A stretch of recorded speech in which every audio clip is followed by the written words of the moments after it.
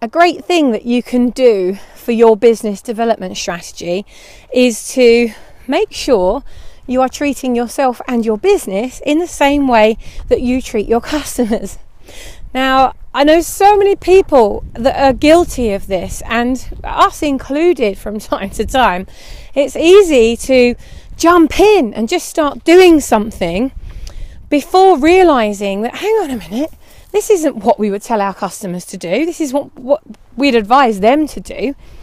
And it's so easy to do that. It's effectively the plumber with leaking tap. the amount of website companies that I know that don't have a great website, but they provide great websites for other people. The amount of marketing companies that are so busy doing everyone else's marketing that they forget to do their own. the amount of companies we know that provide an outs or help others to provide an outstanding service but then you look at their company and they hardly have any systems in place in their business. And it's not because they're not great at what they do, it's because they're so busy exchanging time for money that they forget to put those systems in place in their own business. And you might be doing this as well.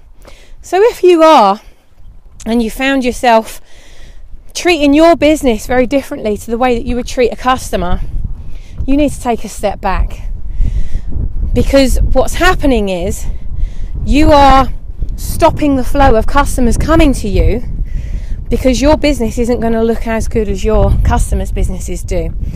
And whilst people will look at what your customers are doing, you've got to trust that they know you well enough or that they come to you in the first place for you to be able to even make that introduction. Because you could be losing customers left, right, and centre because a lot of people won't even tell you that they've even tried to look for you or they've tried to find this or they've tried to find that. So you need to make sure that your your own house is strong. Because when people search for what you provide, it's you they're going to find first.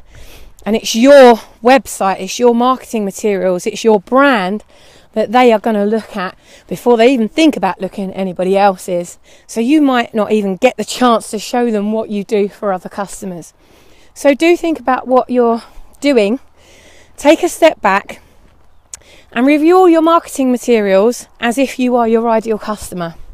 And if you are objective and don't be precious with it or emotional, if it doesn't sit with you as your ideal customer, then it's not working. And if you get some of your ideal customers to have a look at it and give you very direct, constructive feedback, you might find that it's not working for you for a reason. So do that today and you will get different results.